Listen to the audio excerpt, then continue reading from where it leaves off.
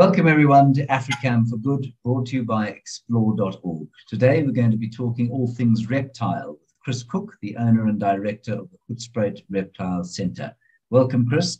Good to have you with us. Thanks, James. Yeah, it's good to be here. Tell us a little bit about yourself and what you do and where you are and how you do it. So, uh, as you said, I'm the, the, the, owner and the director of Hoedspruit Reptile Center, uh, at least the current one. Uh, you know, the center is 38 years old uh, this year. And uh, one day when I'm an old man, I'm going to be passing the reins on to somebody else. And that's really important because there always needs to be a little reptile center in Hoedspruit doing the good work uh, that we do. but I've had a history and, and, a career, very luckily, um, in reptiles ever since I left school. you know, very few few people manage to find themselves doing something that they absolutely love. And I was one of those few individuals that I can say that that, that happened, um, you know, from a whole bunch of uh, lucky reasons, I guess. Uh, but the whole point of uh, the Reptile Center and what we do is to help uh, protect and conserve reptiles. Because let's be honest, uh, they're not uh, considered terribly cuddly for the most part. And reptiles are generally overshadowed by the bigger, more charismatic megafauna. So, you know, we need to speak up for them them so that we can do things for them. Just quickly tell me whereabouts in Hoedspruit are you? So if you're familiar with the town, uh, it's, yeah. a, it's a tiny little town. We don't even have uh, traffic lights, but you know there's a handful of stop streets. We're about uh, 12 or 13 kilometers outside of Hoedspruit town towards the mountain, so towards the Drakensberg side. Um, Tell us a little bit about the work that the Reptile Centre does. Are you doing rescues? Are you involved in a lot of conservation work? What's your kind of main day to day stuff? So that's um, that's an easy question to answer. Uh, it's also a very long answer, but I'll try to keep it uh, uh, short and direct. Um, so essentially, we are a reptile zoo. Uh, but we're so much more than just a zoo. We are a center for conservation of reptiles. Uh, as I said, we've been, you can come and visit the center, uh, pay the admission fee and look at the animals on display, but there's so much that happens behind the scenes, uh, which we try our best to, to bring to the public attention so that people can understand what we do. Um, but uh, yeah, you could come and visit the animals uh, just as a, as a tourism perspective, but really what we try and do is live by our ethos, which is conservation through education and research. And uh, because we don't buy animals, we don't sell animals, we don't trade in animals, and we do uh, everything we can to uh, limit the breeding of the animals at the center, uh, we're not making money or focusing on anything that has anything to do with trade. How the center runs and operates is by selling education. That's our product.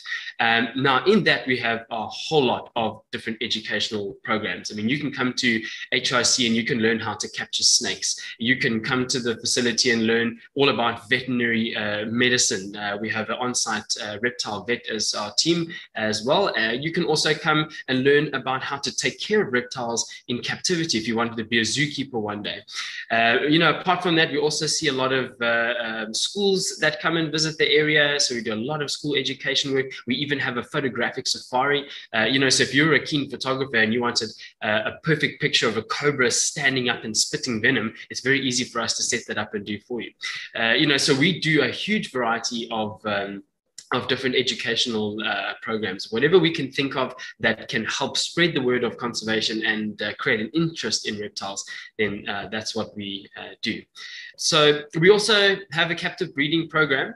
Uh, remember that we uh, took the center over in December of 2019, and in South Africa, as you know, um, we went into hard lockdown in March. So that means, as the new owners, we only had a handful of months of business, and then we were actually closed for eight months, um, and that has caused a huge delay in, in our conservation uh, uh, goals.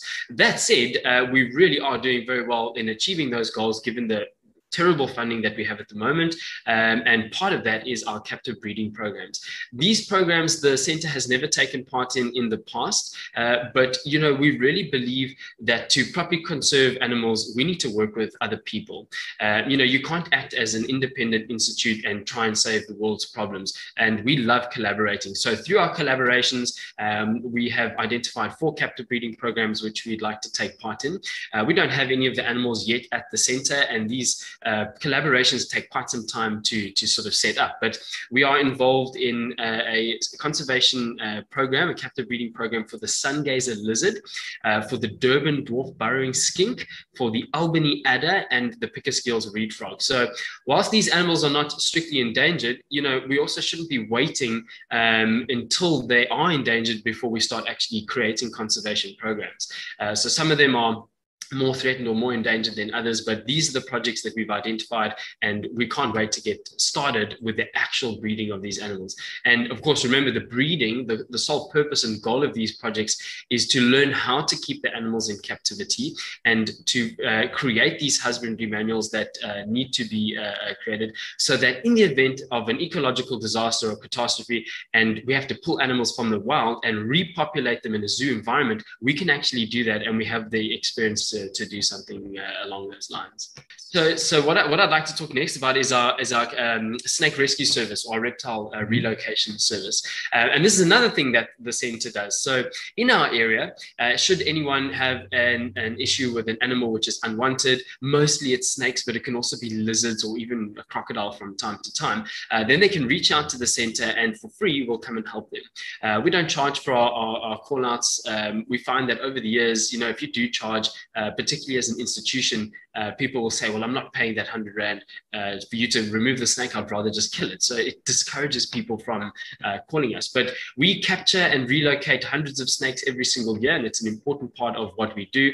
Um, and, uh, you know, we're all available uh, all the time uh, for it.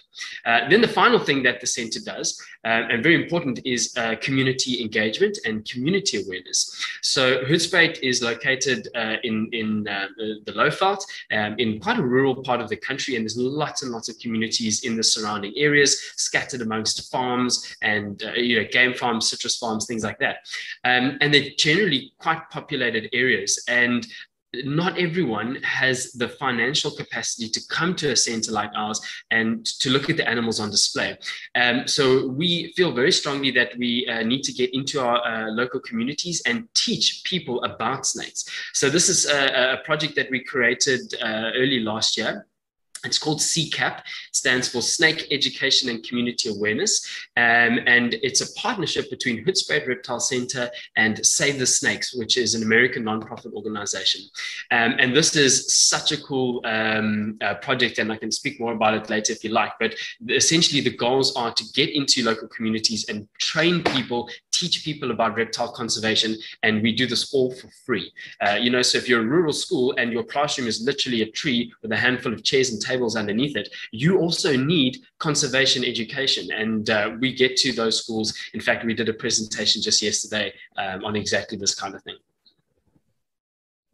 How far afield do you go for that stuff? I mean, I know Hoedspruit is surrounded by rural communities. How far, what sort of radius are you operating? So our SEACAP project has only really been running for about a year and a half, and obviously we had major, major setbacks with COVID and yeah. things. Um, and uh, we have a, a, number of different partners that assist us with it. Um, one of our partners is an organization called Global Conservation Corps.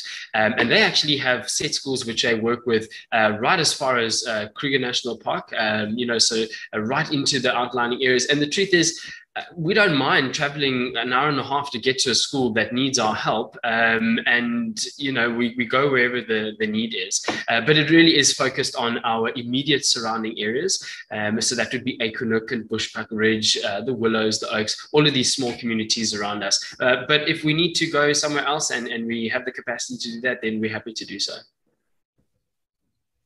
Tell us a little bit about the reptiles that you have in the center at the moment. So we have quite an old collection. Um, I used to actually work at the at the Reptile Center over a decade ago before we uh, took it on yeah. as, as, the owners. Um, so I have a very strong love and attachment for this place. Um, and I can say of all the places that I've worked at, nobody does more conservation education than, than this tiny little reptile park in the middle of the Lowveld. Um, and I, I, work now today with many of the same individual snakes and lizards as I did over a decade ago. So um, it's a testament to the care of the animals that have uh, that we have here. Uh, but a lot of our animals are, are super old, and uh, you know we'll be looking to replace them in the near future, eventually when they do die of old age. Uh, that said, we have a balance of uh, snakes, uh, predominantly snakes. In fact, but we have a balance of lizards. We've got crocodiles, we've got an alligator, we've got some turtle species as well, uh, some terrapins, which are quite similar. Uh, and then we also have a selection of arachnids, so spiders and scorpions, uh, some insects as well, like cockroaches. Uh, and we, we really kind of gravitate as an organization towards the animals that people generally don't like. Uh, you know, people often are fearful of animals that have too many legs or not enough legs. You know, it's quite strange. Um, yeah. But it really is a balance of uh, all the different groups of reptiles uh, uh, that exist. Um, and uh, yeah, it's a very old collection. And if somebody wanted to come through there and wanted to see venomous snakes, what could they expect to see? So at the moment, I would say we have a 50% indigenous collection and 50% exotic. Um, as part of our uh, ongoing collection plan, uh, we would like to shift towards uh, an 80 to 85% Southern African uh, species. Um, and uh, that will be a, a, a slow progress um, that we will you know, try to, to do as quick as possible, I guess. But if you came through and you wanted to look at snakes, we've got boomslang, we've got black mambas, we've got gaboon vipers, puff adders, rinkhals, spitting cobras, snouted cobras. We have the majority of the um, sort of the, the really toxic snakes that you might find. And then we also have a lot of harmless species because those are also important to show people uh, the benefit of having. So we have an egg eater, we've got a brown house snake, yeah, we've got mole snakes. It really is a well-represented uh, collection within, um, you know, what you might find in South Africa. And then if you like the charismatic uh, examples from overseas. You can meet Ali, our alligator. We have anacondas as well, which is a, a, a very uh, charismatic species. Um, you know, pythons from Indonesia. So there's uh, there's really there's a little bit for everybody. And you say these, you know, a lot of the animals you're working with have been there for more than a decade.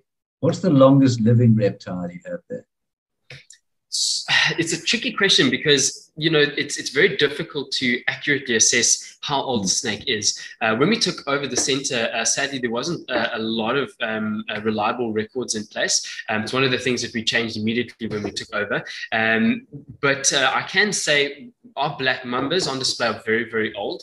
Um, when I first started at the center, uh, I was told that at that point, they were around 20 years old. And that was, you know, over 10 years ago. So I would say our black mambas are probably one of the oldest snakes we have. They're, they're around 30, maybe even 35. Um, there's a couple of other animals that are just as old. And um, how I know that is because, particularly with our black mambas, they were part of a research project um, and as such uh, has have, uh, have special scarring or uh, scarring on their bodies, which um, at the time people put these telemetry devices inside to track and locate them. And, and those scars on those individual animals are absolutely diagnostic and they're the exact same snakes uh, that I used to work with. So, um, yeah, but um, you know, there are older animals in zoo collections. Um, there's a green anaconda in Johannesburg, which is, uh, if I'm not mistaken, currently the oldest green anaconda female in captivity in the world, and she's about 46 or 47 years. Uh, and you know, here's the thing: in, in captivity, animals do get a lot older. They don't have natural predators, but they're also at the full mercy of the expertise of the people that yeah. care for them. You know, so if we don't mm. uh, get the diets right or the enclosures right, then something might happen. You know, then yeah. then then an animal could live a lot less. But in the wild, we actually have no idea how old snakes get. It's yeah. not an animal like a an elephant or rhino, it's born on one day, you can follow it its entire life, uh, and you know when it dies. You know, snakes are too secretive, uh, too quick to escape, and uh, it's very difficult to try yeah. guess how old they, they might get in the wild. Do you have a favorite at the center? People, people always ask us that, you know, what's your favorite snake, your favorite lizard? Um, and, I, and I guess people want to know, you know, if, if the snake guys have a favorite, then that must be a really interesting animal. Um, the truth is, I don't really have a, favorite. I, I, do gravitate towards uh, snakes over the other groups of reptiles. Uh, but really, if I had to really decide, it would have to be somewhere between a boomslang and a gaboon viper. Um, you know, boomslang are highly, highly toxic snakes, but very docile, beautiful snakes to look at. Uh, and then if you look at the gaboon viper, it's a, the, probably the one of the most beautiful patterned snakes in the whole world. Also highly toxic. It has the longest fangs out of any snake in the world, yet in, in also incredibly docile. Uh, so I think those would probably be my, my two top, uh, contenders, but it's so difficult to really say. Cool. Um, are you dealing with anything? I mean, you mentioned those four animals that you're going to be uh, breeding. Are there any other endangered species that you're currently looking after? So the, the animals that we've identified, um, uh, as I said, are not um, all endangered. Some are um, endangered, some are threatened. Uh, and because we don't physically have any of those animals at the center at the moment, we're not really doing a work deliberately uh, or focused entirely on those animals. But remember, um, we, we uh, have a broad spectrum conservation message and goal, and that encompasses uh, animals that are vulnerable, that are of least concern, and the ones that are endangered. Um, and, you know, we really are looking forward forward to getting stuck in with those captive breeding programs when we can. What do you think some of the biggest misconceptions people have about snakes are? I think one of the, the most long-standing misconceptions are that snakes are evil. Uh, snakes mm. are uh, vindictive and they hate people and they want to try and attack and bite you. Nothing can be further from the truth. Um, and, uh, you know, humanity has created this conception uh, on snakes uh, for a whole lot of different reasons. Um, you know, a lot of uh, religions are very tightly intertwined with snakes. Uh, some religions see snakes as evil, whilst other religions actually uh, see snakes as, as, a, as a holy animal, you know. So it really depends on your culture and the environment that uh, you grow up in. Now, one thing that is um, the, the, the, the unfortunate truth is that there are some snakes out there that are potentially deadly to people. And because of that, people have developed this fear on snakes. And much of what people think they know is uh, false. And it is, um, it is made worse by uh, social media. It is made worse by television programs and movies. And, you know, years and years ago, it was very easy for us to pick out um, rubbish on the internet because, you know, the graphics would be terrible. But now everyone's an expert in Photoshop, you know. Um, and people create fake news and fake content and it spreads so fast. You know the unfortunate thing is that misinformation spreads faster than fact. Yeah. so i think one of the biggest misconceptions snakes are not out to catch and kill people. They actually are incredibly important for the environment and all they ever want from people is just to be left alone. So snakes are not the animals that people think they are. So what would your main message to be to people be about snakes in general or I mean, even reptiles. You know, I mean, let's let's go snakes first, and then reptiles in general, because as you say, you know, unless they're charismatic mammals, people tend to ignore them. So, so I think the message is exactly that. You know, um, reptiles are in desperate need of the world's attention and the world's focus. They are overshadowed by the, the charismatic megafauna, particularly uh, birds and mammals, which have a lot more emotion, and people can make a connection with those animals a lot easier. Uh, but the truth is, reptiles are an incredibly fascinating, unique group of animals, and they need the world's attention. Um, you know, possibly more than than many other uh, kinds of uh, animals that currently receive it. Um, and you know, the take home message is that uh, reptiles are not out there to scare and attack and bite people. And they form an intricate part of our ecosystem. And that is one of the reasons why you find snakes, for example, on almost every continent on the planet. You know, if you take snakes out of the ecological equation, um, much of the ecosystem is at risk of collapsing. So we really do need to protect snakes uh, as all other animals, of course, uh, but we need to bring uh, the uh, conservation message to the public eye. Um, and that's an important part of what we do here. Okay. I wanted to ask you something now about something we've been witnessing on our African cameras over the last week or so. And there's an African rock python in Balule that has it's it's operating nocturnally and it comes out onto a, a log during the course of the evening and it just lies there or the early morning. And but it lies there in plain view. So it's not ambushing from the leaf litter or anything like that. Mm. And twice now we've watched birds land on a branch next to it, obviously oblivious, and get nailed. Once a, a little pytilia, and then we think, from what we can tell, a spotted eagle owl. Is this something that's relatively common? Don't they normally come out of the leaf litter? So, uh, Southern African pythons are ambush hunters by nature. Um, they are mostly active at uh, night, um, but then again, if you're an ambush hunter, you can't really afford to be picky and choose when you want to hunt and when you don't. And essentially, you're going to find a concealed spot where your own camouflage is really working. Um, and it's important for an ambush hunter to have good camouflage for two reasons. One, to avoid predation, so you need to hide from your predators, but you also need to hide from your prey. Um, and in the cases on your video, and, and I was quite surprised surprised to see them. It's a really cool little clip as well. Um, it's as you say, the snake is seemingly uh, spread right out on this branch. I don't think particularly in ambush mode, uh, but it's still opportunistic. Now, um, I would suspect that um, uh, the snake was basking either to get early rays uh, in the morning or the last little bit of uh, heat before the evening sets in. And as the bird lands on the branch, it would have stimulated the, snake, the, the snake's heat censoring uh, pits. And immediately that instinctive brain triggers into food mode. And you saw how quickly that snake responded and reacted. And this is very important because if you're slow and you're an ambush hunter and you miss your meal, that might be the last meal you get for a week or month or maybe even uh, six months, you know. So it's remarkable footage. It's very, very interesting. And generally, what we find with ambush hunters, just like the pythons, is that they're non-selective. You know, you can't be picky. So whether it's a tiny little bird or uh, bird or an eagle, uh, owl, as you said, um, you know, you, you've got to grab onto it. You've got to catch that meal. And the advantage that pythons have is that they're generally big snakes with massive gapes, and they can really swallow ginormous animals. Uh, what's the difference between a southern African python and an African rock python? Um, essentially, they they uh, two different species. Um, the southern African python is the one that we find in southern African uh, countries. It's uh, it's Python natalensis, and generally the African rock python is a Central African snake, uh, Python sebae. So it, it is on a species level. They look very very similar, um, and um, the the English uh, common names often get muddled up and mixed up, and scientists uh, do change these things from time to time. And for the longest time, uh, everyone used to refer to the pythons as African rock pythons, but technically it's more accurate nowadays to say the Southern African python or the Central African python.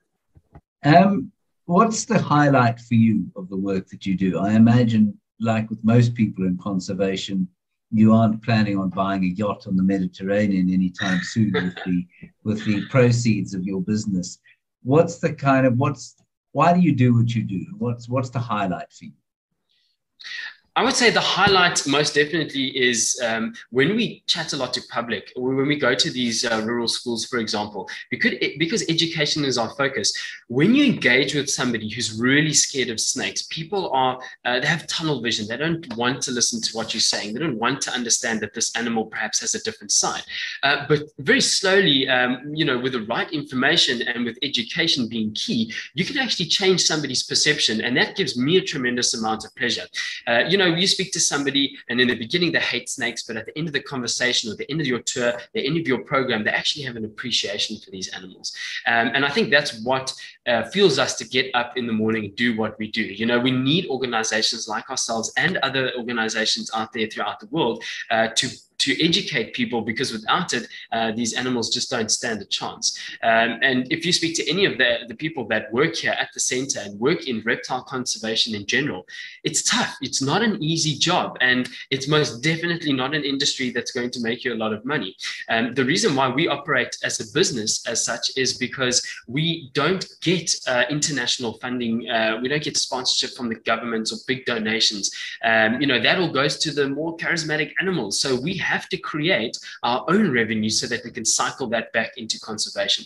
And that's again why we have come up with as many varieties of educational programs as we can think of so that we can create the revenue that we need to run the center and also to support our captive breeding programs, our snake rescue service, our CCAP initiative. Uh, it's really, really important. If we don't create that funding and we were a non-profit organization, uh, we wouldn't be nearly as effective as uh, what we are today. So, so CCAP is our community awareness program. Um, it stands for Snake Education and Community Awareness Program, in fact. And it's a project that is jointly funded by Hoedspruit Reptile Center and Save the Snakes in America. Um, this is a huge hugely ambitious project. We created the project uh, about a year and a half ago. We've been massively delayed um, by, uh, of course, COVID and the challenges that come uh, as a result. Uh, but CCAP has many different cogs working together as a conservation program. So um, I'll take you through them very briefly. One of the most important aspects is education for school kids. Uh, we visit a lot of schools in our local communities for free, and we teach people all about snakes and snake safety. But we go above and beyond beyond that, we also visit our local clinics and hospitals and we engage with nurses and doctors to formulate the best possible plan when it, teach, uh, when it comes to treating snake bites in our area. We want to make sure that everybody is on the same page and that we work with uh, medical professionals to make sure that we have the best possible way of actually treating snake bites. Uh, we've also created an anti-venom bank at Hoedspruit Reptile Center. This is very important. The center's never had one, uh, but we now have a very well-stocked anti-venom bank, and uh, we will make that available to people if they need it. Uh, so, of course, we are not doctors. You can't come to the snake park if you're bitten by a snake, but we can meet you at the hospital if there is no anti-venom and make use of the ones that we have here. We also then train community members in snake removal. Um, and this is because most people, when they find a snake, they kill a snake because they're scared of it. And we can't always get to every single snake emergency. So we train uh, identified individuals in communities to uh, safely capture and relocate problem animals so that there's no need for people to feel that they have to try and uh, kill them. Uh, and then, of course, um, all of this, all of these cogs uh, work together simultaneously um, uh, to, uh, you know, to produce our main conservation uh, goals. Uh, so it's a huge, ambitious uh, project. Um, we're, we're, really happy to that the wheels are turning, but we desperately do need funding um, so that we can keep doing the good work that we do. One question that everybody's going to want to be asking: Have you ever been bitten? That's, that's always such an, uh, um, a popular question. So the truth is, yes. Uh, most people that work with animals have been bitten by animals. If you ask your vet, have they been bitten by a dog? Uh, they probably have, or they've been scratched by a cat or bitten by a bird.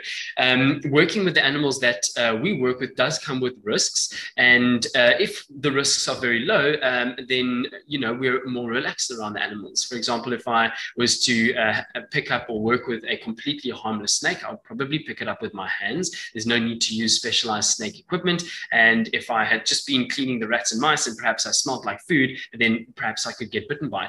Um, very luckily, up until this point in my career, I haven't been bitten by a dangerously venomous snake. Um, and that is because when we work with seriously venomous animals, uh, we up the level entirely and, you know, we take safety very, very seriously. So we don't uh, promote uh, ridiculous snake shows where, where people um, harass the snakes and pin them and expose their fangs and do all these crazy things. Um, you know, when we do our uh, tours and presentations, we really want the focus to be on on the animal and not on the person presenting uh, that snake to people. Uh, so touch wood, haven't been bitten yet. Uh, it's entirely possible to go your entire career without a snake bite. Um, and uh, I really hope uh, I'm able to, to achieve that.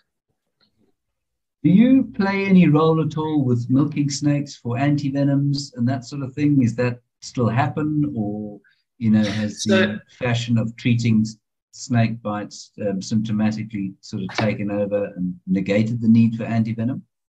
Uh, in fact, it's the, the opposite. Um, in 2017, the World Health Organization declared snakebite as a neglected tropical disease.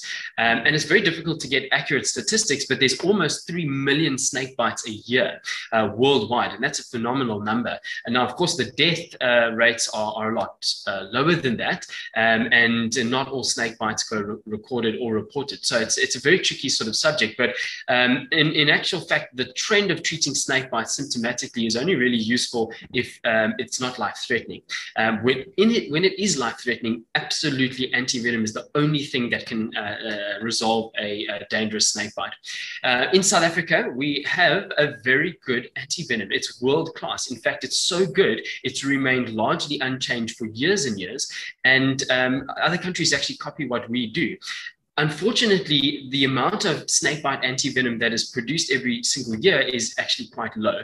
Um, I'm standing under correction here, but we, we, we produce around 15,000 vials of snakebite antivenom, and that's not a lot considering um, many uh, sub, uh, uh southern African countries actually use our antivenom in treatment for snakebite. So there needs to be a lot more. And because of that, um, the milking of snakes to produce antivenom is critical. It's a necessary evil. Uh, you know, there is a, a, level of stress that the snakes go uh, in order to extract the antivenom, um, but it's the only thing that really helps. So uh, to come back to your question, do we milk snakes? No, not at this point, um, but we are going to start the construction of a venom extraction lab, uh, hopefully later this year, and we will then be contributing to supplying the vaccine producers with that life-saving venom, which is used to make uh, antivenom. And we we have decided to participate in this as part of a social responsibility. You know, we have the expertise, we have the facilities for the most part, um, and we have the animals. So we should be supplying uh, venom so that we can, uh, you know, uh, do our best to alleviate the burden of this constant shortage of antivenom. If anybody wanted to get involved with the Hoedspruit Reptile Center or help out, what would you say to them? Uh, so yes, absolutely. We we love uh, the support of the public. In fact, the the centre uh, uh, relies on it, and there's lots of different ways that somebody can help. You can help just by uh, visiting the center, paying the entry fee. That money goes into the conservation of the, the, the animals anyway. Um, you can make a physical donation in terms of, of money. You can make a donation in terms of material, bags of cement to build new enclosures or plumbing supplies to fix the up the, the plumbing or the business buildings or something like that. Um, so there's many ways that you can get involved. I think the, one of the most, um, uh, one of the best ways you can get involved is by utilizing our educational programs. Um, so so if you're in the area, choose Hoedspruit Reptile Center for your snake capture course training, choose Hoedspruit Reptile Center for your snake uh, awareness training, your snake bite first aid training, your photographic uh, safaris, um, and utilize us. We're, we're, we're an institution within the little town, and we've been here for a long time, and we're going to be here, um, uh, you know, for, for a long time still to come. But we desperately need the constant support of the public.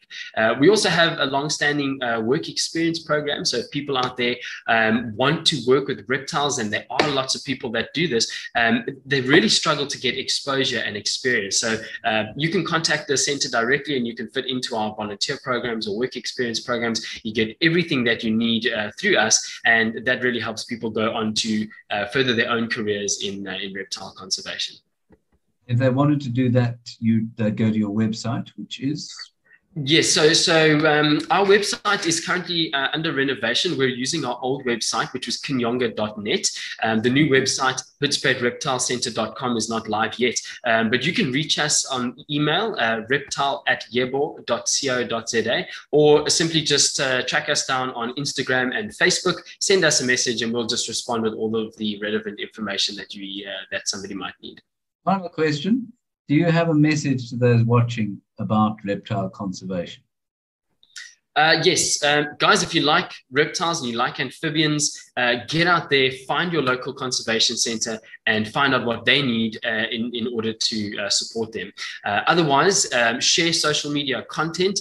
Don't share rubbish on the internet. Share credible information. Help dispel the myths and misconceptions out there about reptiles. And importantly, as well, if you do have a pet reptile, do your research. Make sure that you're caring for that animal properly, and make sure that you're not supporting any entity that is uh, uh, taking animals out of the wild. You want to be sure that your animals are captive bred uh, because the reptile poaching uh, problem worldwide is horrendous, and we uh, we see a lot of this firsthand. Uh, so please don't support any entity where you feel may have been part of a smuggling or poaching syndicate.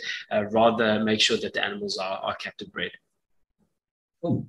Chris, thank you very, very much for joining us. It's been an absolute pleasure talking to you, and I hope that your center goes from strength to strength. Wish you all the very best for the future. Thank you very much. Happy to uh, be part of the interview.